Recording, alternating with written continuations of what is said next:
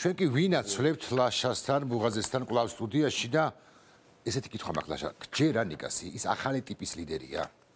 ხო, ნუ ცხადია, ეხლა მე მგონი ალბათ თვითონ მისი მესიჯები თქოს მკვეთრია, მას არ დაუსახელებია გვარი შინაგან საქმეთა ყოფილი მინისტრისა, მაგრამ პრინციპში იგულისხმა, რამდენადაც მე მივხვდი, ან ის პირები იგულისხმა, რომლებიც რომელთა მიმართაც განსაკუთრებულად სერიოზული პრეტენზიები ჰქონდა, ასე მაგალითად მე ან შენ 2012 წლამდე ან 12 წლის ჩათვლით. ცხადია. ცხადია, ხო, იმიტომ რომ ახლა ბუნებრივია აა ვთქვათ, ყოფილი ხელისუფლება კიდე თავის რაღაცა გარკვეულ стереოტიპებს გულისხმობს და ამიტომ თლათ რიტორიკულიც არ არის შენი შეკითხვა, იმიტომ რომ ნამდვილად საერთოდ ყოველგვარი ეიჯიზმის გარეშე ახალგაზრდა პოლიტიკოსების მიმართ მაქვს განსაკუთრებული მოლოდინი და რწმენაც, ხო, ნიკა იქნება ეს თუ ვთქვათ, სხვები, არ ვიცი, დღესაც ჩვენ მიხილეთ ხომ სამი ახალგაზრდა როგორ დააკავეს და არა მხოლოდ სამი 20-მდე ახალგაზრდა, ვთქვათ, იგივე საბაბუაძე და თაზო დათუნაშვილი, ირაკლი კუპრაძე და სხვები და სხვები. და ნუ ძალიან შეუძლებელი ამას არ გამოეხმაურო მეორეც. აბსოლუტურად და ნუ ადამიანებს ახლა ხედავ როგორ იბრძვიან, ხო? ახლა და როგორი პრინციპულები არიან. ბევრი ვართ Facebook-ზე და როდესაც მე აი ამოვიწერე კიდეც. როდესაც პირობითი სახელით მელანო მელანო მე წერს რაღაცას კომენტარს ну ხვდები რომ ტროლიან დავათვალიერებ და ტროლია და არ პასუხობ როდესაც ვინმე გიორგი მწერს ვთქვათ ოცნების მომხრე მასთან პოლემიკაში ან შევდივარ ან არ შევდივარ მაგრამ მე მიწევს პოლემიკაში შესვლა ერთ პირთან რომელსაც არ დავასახე არ გავახმიანებ მათ მის გვარს ერთ ფილოსოფოსთან პროფესორთან ბიბლიისთან გვარს არ გავახმიანებ რომელმაც ამგვარი რამ მომწერა თუ პოლიტიკოსმა კანონი დაარღვია, თუ სისხლის სამართლის დანაშაული ჩაიდინა პოლიტიკური მოტივით, მაინც პოლიტიკური პატიმარია ირაკლი. მელიას გულწრფობს. ეს რა კაზუისტიკაა? გამოდის რომ პოლიტიკა სამართალზე მაღლა დგას? აი, მითხარი, არ ვასახელებ ამ პატივცემული კაცის პირდაპირ ვამბობ. გვარს თუ ის მიყურებს, მიხვდება რომ მასზე საუბრობ, ბევრი კი ვერ მიხვდება. მაგრამ მაინც რა უნდა უპასუხო მას? არა, უბრალოდ ჩვენ მას შეგვიძლია უპასუხოთ, რომ რაღაცა ისტორიული მეხსიერების კუთხით აქვს პრობლემები ყოველგვარი შეურაცხყოფების გარეშე და ეს არის რაღაცა ჟორეული ამბავი, თუ ის ათვლის წერტილად მიიჩნევს ნიკა მელიას ეგრეთ წოდებულ დანაშაულს, მან უნდა გაიხსენოს 2019 წლის 20 ივნისი, საიდანაც დაიწყო დანაშაულის, ასე ვთქვათ, გენეზისი, სად არის და ვინ ჩაიდინა დანაშაული და დანაშაული ეს ეს ეს რატო ავიწყდება ამ ხალხს? მე ჩვენ ვიცით რატომაც ავიწყდება. მთელი პროპაგანდისტული მანქანა არის ჩართული იმაში, რომ როგორმე ასე თქვა არევა და ადღვება მოხდეს. თუ შეიძლება ასე ითქვა სურათისა რაც მოხდა 2019 წლის სოციუმში სადაც ნიკაც იყო მეც ვიყავი მგონი თქვენც იყავით უამრავი დემონსტრანტი იყო იქ. რის გამო იმის გამო რომ სახელმწიფომ მიაყენო ხელისუფლებამ უკაცრავად მიაყენა შეურაცხყოფა სახელმწიფოს. ქართულ სახელმწიფოებრიობას ჩამოიყვანეს კაცი რომელსაც დარღვეული ჰქონდა არაერთხელ. საქართველოს კანონები ებრძვის დუმის დეპუტატი საქართველოს სახელმწიფოებრიობა შიდა ქართლის ოკუპაციას აღიარებს და ასე შემდეგ. ვინ და დამნაშავე ვინ არის? რა მართლაც კაპკიანურ სამყაროში ვართ ხო? ფრანც კაპკას პროცესი სადაც რატომღაც ვიგონებთ რომ დამნაშავე არის ადამიანი რომელსაც სად არის დანაშაული? ეს მათი ტენდენციაა ივერმელაშვილის დანაშაული სად არის დანაშაული? დანაშაული არის გვაჯერებენ რომ დანაშაული ჩაიდინეს მაგრამ ამ ამ მოხალხის ანუ მეხსიერების მეხსიერების არა სიჯიუტესთან გვაქვს აქ. სიჯიუტის აკლიატებებთან მაგრამ შეიძლება სხვა პრობლემა კი არა სხვა შიშიც არის აქ შეიძლება ამ და ბევრ სხვა მოქალაქეს აქვს შიში რევანშისა, რაც ერთგვარად ვკითხე მე, ერთგვარი ფორმით ვკითხე მე ნიკამელიას. ან მოდი სხვანაირად ვიტყვი რევოლუციისა. შეიძლება ისინი ფიქრობენ, რომ რევოლუციით და მეც ესე ვფიქრობ. მე მგონია, რომ რევოლუციების დრო წავიდა და რევოლუცია არ უნდა მოხდეს და ჩვენ სწორედ არჩევნების გზით უნდა მოვახდინოთ კიდევ ერთხელ ტრანზიცია, ანუ ხელისუფლების გადაცემა. მაგრამ არიან ადამიანები, რომლებიც ფიქრობენ, რომ რევანშისტები მოდიან. Ну იცით რა არის ახლა მართლაც ხო არ შეიძლება რომ მუდმივად ამ ფობიებით ვიცხოვროთ ხო მაშინ ჩვენ ვლაპარაკობდით სწორედ დასაწყისში ისტორიის დინამიკაზე და ისტორიიდან ამ ამოგლეჯილობაზე ხო ახლა თუ კი მხოლოდ და მხოლოდ შიშია ჩვენი ასე ვთქვათ თავარი ინსტინქტების წარმართველი და სხვადასხვა ამას ხშირად ვიხსენებ ხოლმე და ალბათ შენ გახსენდება პლატონისეული მნიშვნელოვანი აზრი ხო ჯერ კიდევ აი სახელმწიფოდან მოყოლებული რა რა ემართება დემოკრატიას ოდესაც ის იქცევა ოლიგარქიის ხელში ოქლოკრატიად პლატონიდან მოდის ეს. რა არის ოქლოკრატია როდესაც გადაწყვეტილებებს და შეფასებებს ახდენს ირაციონალურად ისტერიკით. ანუ რაციონალური ხო. არჩევა. ანუ რაციო არ მოქმედებს. რაციო არ მოქმედებს, ანუ გაიაზრე, დაინახე, ჭეშმარიტება, განასხვავე, გადაწყვეტილება მიიღე და სიხალბისგან, ეს არის დემოკრატოსი, ანუ ხალხი დემოკრატია გულისხმობს აზროვნებას და ოხმოკრატია რას გულისხმობს? ვიღაცა აზროვნებს შეს მაგივრად, გაშინებს, გაჰიპნოზებს, გაგიჟებს და შესაბამისად ამ ნევროტული შეფასებებით იწყებს შენ ფუნქციონირებას. ეს არ არის რიტორიკა, ეს რეალობა, იმიტომ რომ ჩვენ საქმე გვაქვს აშკარად რაღაცა სახიფათო რეალობასთან. მე ზოგადად ეხლა დრო არა გვაქვს საერთოდაც მე ცოტათი უკვე მეც მომხრე ვარ ცალსახად რომ არჩევნებით მივიღოთ ცვლილებები ერთმიშელოვნად მაგრამ მე ძალიან დიდი შიშითაც არ ვუყურებ რევოლუციას როგორც სიტყვას. ეხლა ჩვენ თუ გავიხსენებთ საფრანგეთის რევოლუციას ან თქვა კრომველის ან არ ვიცი 1917 წლის სხვა მაგრამ არსებობს ხავერდოვანი რევოლუციებიც არსებობს 2003 წლის რევოლუციაც. რატომ? როდესაც არჩევას გართმევენ როცა ყველაფერს გართმევენ სხვა რა რჩება მოქალაქეს ხო, მესმის, მაგრამ ჩვენ ალბათ უნდა მოვახერხოთ ის, რომ არჩევანი არჩევანი არ წაგვარცხა. ერთი კიდევ ერთი კითხვა, საზოგადოება მინდოდა ამ კითხვის დასმა, გზა და გზა გადავიფიქრე, ახლა ისევ დავუბრუნდი. საზოგადოება ხომ არ არის პასიური, საზოგადოება ხომ არ არის შეგუებული, საზოგადოება ხომ არ არის საზოგადოებას უნდა კი ეს ცვლილებები? ანუ მე გვამბობ, რომ აქტიური არის თუ არა ეს საზოგადოება, ესე ვკითხულობ. ესეც შეიძლება კითხვა ამას ხშირად იყენებს ხელისუფლება. დამანახეთ რუსთაველზე 10000 კაციც კი არა გყავთ 7 გყავთ 5 გყავთ 12 გყავთ არა გყავთ თქვენ ის კრიტიკული მასა რომელიც რევოლუციურ ცვლილებებს განაპირობებს. ამით ვაჭრობენ თუ ასე ამბობენ ხელისუფლების წარმომადგენლები. ასიური ხომ არ არის საზოგადოება და კიდევ ერთი კითხვა მაქვს ხო ხო ხო კი ბატონო. არ არის ბძანე ა იცი რა არის ირაკლი ჯერთი ნუ მე შემილი ალბათ ხო როგორც ყველა ჩვენგან და ჩვენ ჩვენი თავიდან გამომდინარე ვისაუბროთ ხო ანუ არ ვიცი მე რას თქვა საზოგადოების სახელით ვერ ვილაპარაკე ბუნებრივია ნუ მე ვიცი რატომ უნდა ვიყო აქტიური და მე ვიცი რომ ისიც ვიცი რომ პრინციპში რაღაცნაირი პროცესების კატალიზატორები ხშირად არიან ცირედნი კოლექტიურად რაღაცა არ იცვლება. ეს იყო ორიენტირებული პასიონარული უცნაური. კი, კი, კი, ეს იყო 80-ე შენ დასაწყისში შესანიშნავ შესავალში შენახსენე მე რა პოსტავა, ხო ხა დიდი ბოდიში 2, 3, 5 იყვნენ მხოლოდ, ხო? ხო, საერთოდ როგორც თქვათ ერთმა ნაზარებელმა რომის იმპერია დაანგრია, ხო? ცნობილი სენკევიჩისეული და შემდეგ ტოლსტოისეული ვერსია. ამიტომ ეხა ყოველგვარი გადაჭარბებების გარეშე კატალიზატორი ყოველთვის შეიძლება თქვათ რომ ცოტა, მაგრამ მაგრამ აქტიური და პრინციპული იდეალისტია, ხო? მაგრამ მე ვერ ვიტყოდი, რომ საზოგადოება პასიურია. საზოგადოება დათრგუნულია ხშირ ამ კოვიდის კონტექსტით, რაღაცაირი არამკაფიობით და ასე შემდეგ და ასე შემდეგ, მაგრამ არჩევნებზე გამოჩნდა ხალხი, მოვიდა არჩევნები, უბრალოდ ჩვენ არჩევნები წაგვართვეს. და ამიტომ მე ვფიქრობ, რომ მაინც საბოლოო ჯამში ჩვენ რა პროცესშიც ახლა ვართ, ჩვენ ვართ ძალიან ხელოვნურად ხელისუფლება, რომელმაც ამოწურა თავისი ციკლი, ანუ ეგზისტენციალურად ამოწურა მოწურა, არა მხოლოდ პოლიტიკურად, ეხლა რაღაცა პოლიტიკურ მიცვალებულს მიათრევენ. ეხლა ღარიბაშვილიც რა არის, ხო, რაღაცა დრაკულა, რომელიც გააცოცხლეს რაღაც სარდაფიდან ამოიღეს ეს ძველმანებიდან, რაღაც ნაფტალინიდან და დაგვიდგეს ეხლა ეს რაღაცა კერპი მკვდარი პოლიტიკურად, თორე კერპი მკვდარი. ჯანმრთელობას უსურვებდა ყველაფერს კარგ, მაგრამ მკვდარი კერპია. ამ საზოგადოება ეს ეს არ მოხდება ეს. აი მეორე კითხვას დაგფირდი და ესე გკითხავ. საზოგადოება ჩვენ მე და შენი თაობა დღიდან დამოუკიდებლობის გამოცხადებისა კი არა მანამდე 80-იანი წლებიდან ჩვენ ვადევნებთ ფოტოებზეც იყო კოსტავა გამსახურდა სხვა ლიდერები შევარდაძის ლიდერი ივანიშვილის ლიდერია 2019 წელს რა არის. ინდივიდები არის ინდივიდუალურები არიან. აი ეს სული უსახობა ხო? ეს საინტერესო რაღაცაა. აი ნახე ეხა სხვანაირად კითხავ. ხო.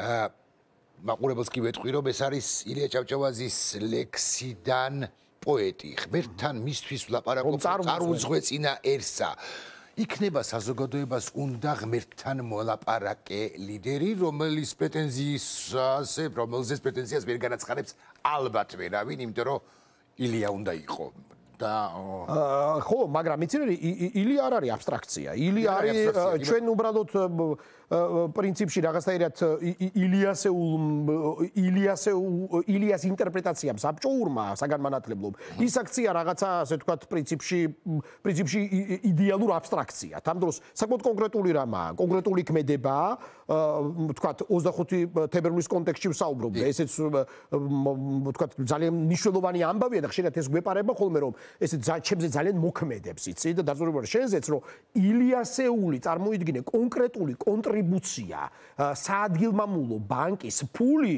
25 მილიონი ასე ვთქვათ ოქრო 25 მილიონის ეკვივალენტი კოტე აფხაზმა მისმა დისშვილმა რომელიც 23-ში დახვეწეს ბოლშევიკებმა პი- გადასცა ეროვნულ საბჭოს. ანუ პირველი ბიუჯეტი დამოუკიდებელი ეს საქართველოსი საბჭო იყო მე უკვე დამოუკიდებლობა გამოაცხადა. აბარა, זה ყველაფერი, ანუ კონკრეტულად ილიას ფული ჩაიდუა. ანუ უზარმაზარი წვლილია ძალიან კონკრეტული ამბავია. ილიას ილიას იდი არის განხორციელებული საქართველოს დამოუკიდებლობა. მაგას ვამბობ. შეებრძოდა სტალინი. აერიტორიალში ცხადია. სტალინი ებრძოდა სტალინი ხო მსოფლიო ლიდერი იყო. მაგრამ ანუ ყველა იცნობდა რას ლაპარაკობთ კაცო ხო. სტალინმა მოიგო ნუ სხვებთან ერთად ცხადია და ეს საბჭოთა ისტორიოგრაფია გვატყუილებს მუდმივად რომ მარტო გამოიგო სხვებთან ერთად მოიგო.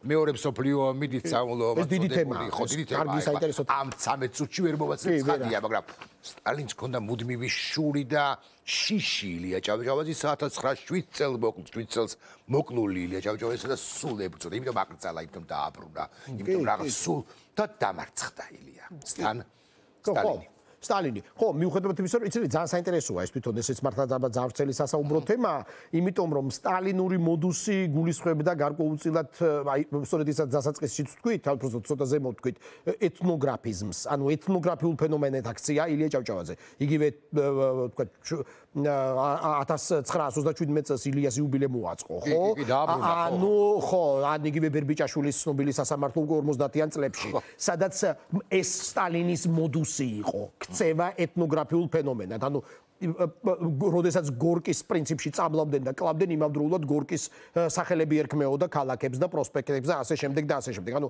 რაღაცა ეს იყო კიდე სხვაგვარი მკვლელობაც ამას გულისხმობ, ხო?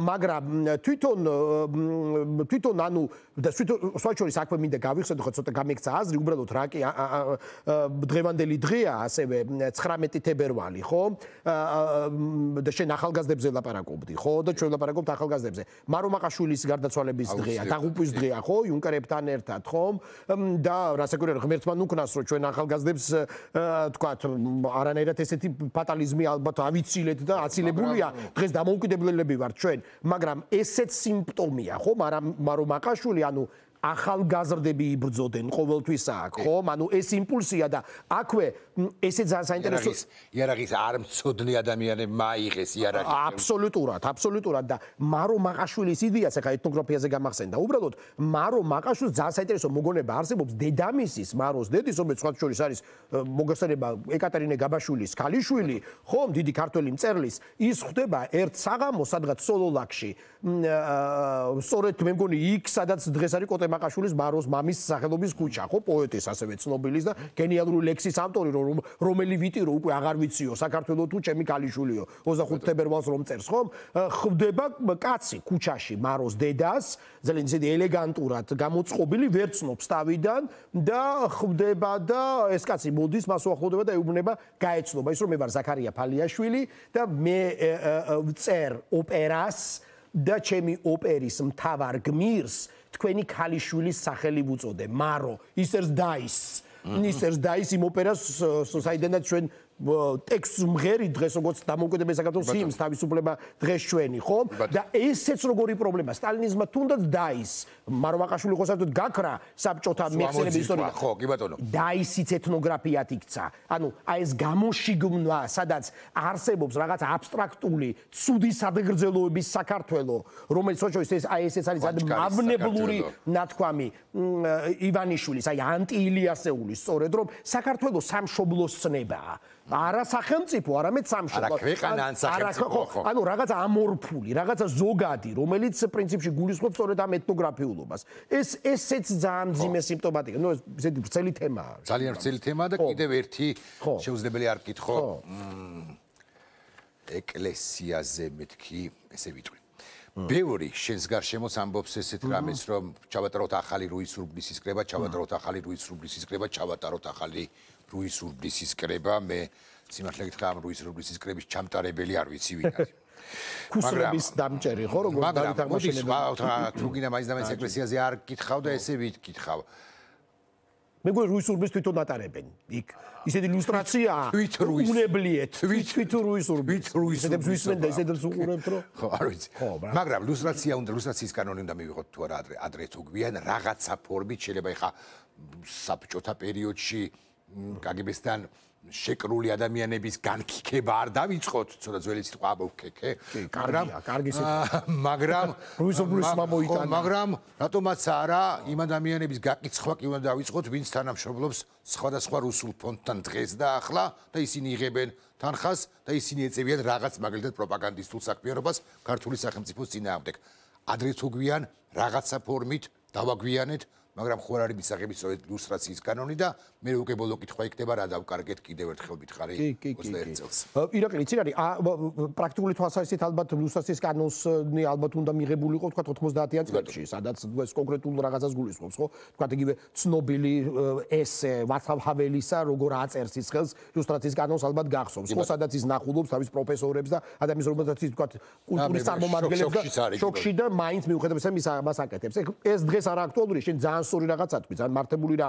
დღეს ახლა აშკარად თვითონ თვითონ ისტორია და აწმყო გეუბნება ამ ლუსტრაციის ფენომენი, რაღაცა ეს ასე თქვა გაშიშვლება ხდება, ხო? ხო, ჩვენ ვხედავთ პრიმაკოვის ფონდის წარმომადგენელს, რომელიც ვითომ და გუზემ მჯიხს ირტყავს, რომ გარეჯი საქართველოა და ანუ ძალიან თვალსაჩინოა და იცით არის ხშირად შოქში მაგდებს ხოლმე. მე ზალბა დარწმუნებული შენ როგორ ვერ ხედავს ვიღაცა ამ თვალსაჩინოობას, რომ აი ეს არის ოღონდ გარეჯი არავინ არ თვითონ ეხა გარეჯი საქართველოს რასაკვირველია გარეჯი საქართველოს თავისთავად ხანია არა რომელიმე ჩვენგანი ვერ თქო ჩემო რასაკვირველია გარეჯი საქართველოს მაგრამ აი როზეს პრიმაკობის ფონდის წარმომადგენელი აქ ლაპარაკობს და ასე ლაპარაკობს და თან ეს თუ კონტექსტშია ხო იქ იგივე ნარიმანოვის კანდაკება იქ არის ისლამოფობიური ამბები და ასე შემდეგ. თელ ეს ხაზია ქართულ მას ოდესაც იქ ხედავთ ხო გასაგებია რომ ეს არის რაღაცა პროექტი სწორედაც რუსეთის კრემლის სპეცსამსახურების რომ დაგაბულობაში გახლეჩა მოხდეს. და უინტერესო სახელმწიფო საზოგადოება სახელმწიფოდ ვიქცეთ დასავლეთისთვის.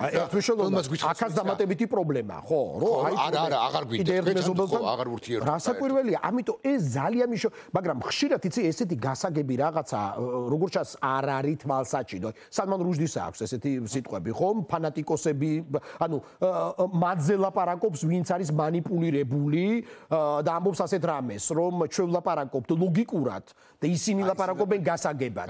და ადამიანს არ ესმის ლოგი ლოგიკური ადამიანს რა ანუ რაღაცა ჯგუფ საზოგადოებისას არ ესმის ლოგიკური არ უნდა. ესმის პრიმიტიული და ყალბი ხშირად ხო? ანუ პროპაგანდა ხო ამაზე მუშაობს. დღეს ჩვენ ამასთან გვაქვს ხა როცა გადავრთავთ იმედზე როდესაც ზის ადამიანი რომელიც ალბათ ილუსტრაციის კანონი რო მიღებული იყო 90 წელს ალბათ ნამდვილად დაექვემდებარებოდა ამ ასე ვთქვათ კანონის მამხილებლურ ელემენტს და ამბობს რომ ეხლა გავრილოვი ჩამოიყვანა ელენე ხოშტარიამ. ეხლა ნუ არ ვიცი ძალიან თვალსაჩინოა. თითქოს რომ საქმე გვაქვს ანუ იმგვარ ტყულთან რომელიც მხოლოდ უნამუსობისა და უსინთისობის კატეგორიას კი არ განეკუთვნება არამედ რაღაცა კგბ-შნიკურ ინსტინქტს სადაც შენ თვალებში უნდა უყურო ადამიანს და ტვინი უნდა გამოურეცხო იქამდე უნდა ილაპარაკო. ტყუილი სანამ ამ ტყულს არ დააჯერე რითიც დავიწყე ესე ამით დავამთავრებ.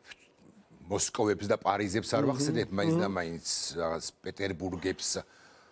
მე ესე გკითხავ როგორ საით რანაირად მიდის მიდის თუ არა საერთოდ და მაინც წვალებ წავალები ჯახირ ჯახირით შიდა ჩეჩერებით მივდივართ თუ არა ჩვენ დასავლეთისკენ როგორც საზოგადოება და როგორც ქვეყანა. მიუხედავად უამრავი პრობლემების პრობლემისა. იცი რა ისევ და ისევ გაზაგასაყარზე ვართ ძალიან კონკრეტული რა რაღაცებით მოწმდება ხო თავისუფლება. ეხლა ჩემთვის და დარწმუნებული ვარ შენთვისაც და ალბათ ბევრი მაყურებლისთვისაც ეხლა აი თავისუფლება მოწმდება ნიკა მელიასთან მიმართებაში. აი აქ აი არა რაღაცა პათეტიკით, არა რაღაცა აბსტრაქციით, არა რაღაცა ყვირილით და რაღაცით, არამედ კონკრეტულად, აი როგორც ეხლა მოიქცევა სახელმწიფო, როგორც ვთქვა, რა პარადიგმასაც შეცვლის, შექმნის ახლა ნიკამელია საკითხი, მთელი იმ იმ კრიზისის პერმანენტული კრიზისის გათვალისწინებით, რომელიც 20 ივნის დაიწყო, რო კვანძი უნდა გაიხსნას. აი ესეც იქნება რაღაცის მაჩვენებელი, ხო? შენ ასევე დასაწყისში თქვი რომ რა დავკარგეთ, ხო? აი ესე ძალიან საშიშია. როდესაც ჩვენ მიხსენებთ 1921 წლის 25 თებერვალს, 25 თებერვალი ეს ისტორიული პერსპექტივა, რეფლექსიიდან გამომდინარე აღიქმება როგორც კულმინაცია, როგორც რაღაცის დასასრული. მაგრამ ასე არ იყო. ძალიან დიდი ნაწილისათვის საზოგადოების. ანუ რა პრობლემა იყო? მათ გამოეპარათ და რომ თავისუფლება დაკარგეს. ისინი ბევრი ვერ მიხვდა. რომ თავისუფლება წავიდა, იმიტომ რომ აი უყარყვარე თურთაბერში არის გადასარევად პოლიკარპე კაკაბაძესთან იმდენჯერ იცვლება. პოლიტიკური რეალობა, უყარყვარე ხან ჯარისის დაღმოჩნდება, ხან ჯარის რატომ ეს ის მეტაფორა. მაშინაც გარკვეული მოლოდინი იყო რომ აი ეს რაღაცა ეს ბოლშევიკებიც მოვიდნენ, ეხლა შეიცვლება რაღაცა. ვერ მიხვდეთ, მათ შორის დიდი მწერლებიც ხო იქ ჩვენ გვახსოვს ის ფრენკანწელები რომლებიც ცდილობდნენ რომ მშვიდობიანი მოსახლეები რო არ დაეხოცათ თქვა მე-11 არმიის არ პაულო იაშვილი და სხვები შეხვდნენ საერთოდ და ასე თქვა მე მათი ურთი ვერ ანუ ხო ახლა პეტიცია არა გააკეთა მაგალითად. ხო ხო ხო ხო და ამიტომ ეხლა საშიში შესაძლოა იყოს ის და შესაძლოა ამედ რეალურად იყოს ის რომ მოულოდნელად გაიხედ გამოიხედო და სად არის შენი თავისუფლება თავისუფლება არ არის რაღაცა სტატიკა. მოულოდნელად შეიძლება გამოფეროს. თავისუფლება არის მუდმივად მოსაპოვებელი. მუდმივად მოსაპოვებელია ეს და ერთის ხა ის არ არ ეხება რაც თათაც ციხლა ვიტყვი. ის არ ეხება საბჭოთა ოკუპაციას 1921 წელს, მაგრამ გეხსოვება რამდენიმე წერალი ვახსენეთ, ხო? გეხსოვება აკაკი, რა წერეთელი რომელიც ჯერ კიდევ მე-19 საუკუნეში 1915 წელს გარდაცვლილი, აკაკი ამბობს დამეხსენი ჩრდილოელო. ანუ დამანები რა თავი.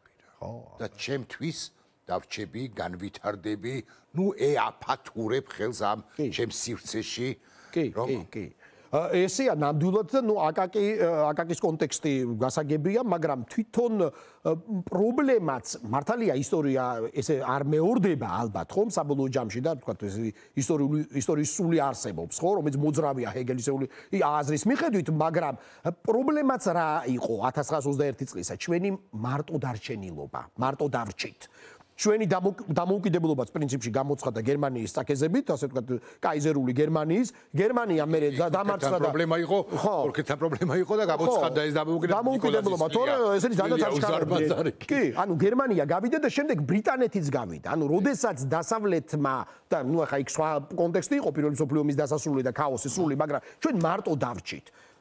ბოლშევიკური რუსეთის წინაშე. მათ შორის ეს ჩვენი თანამემამულეების, რამდენ შეიძლება მათ ეს ეწოდოთ, სოსო ჯუღაშვილი, ფილიპე მახარაძე და სხვები და სხვები. და ხო, ისინი ძალიან ლენინიც კი პასიურობს დავიდან, ესენი იმდენად აქტიურები არიან, რომ ანექსია მოხდეს საქართველოსი, მაგრამ პრინციპში ანუ რა რა რა გაფრთხილებას გვაძლევს ისტორია დღევანდელობისთვისაც, რომ მარტო არ უნდა დავრჩეთ. აი ამ დიდ რაღაცა იმპერიულ წარმონაქმნთან თან მით უმეტეს პუტინის რუსეთთან მიმართებაში. ამიტომ ეს არის ძალიან ძალიან მნიშვნელოვანი რა. ისედაც გვარიანად გადავაჭარბეთ დროს, მაგრამ იმდენად საინტერესო გამოგვივიდა არა. საინტერესო გამოგვივიდა ლაშასთან საუბარი. თქვენთან ყოველთვის საინტერესოა. დიდი მადლობა ლაშა თქვენთან უფრო საინტერესოა გავცვალეთ კათინაურები.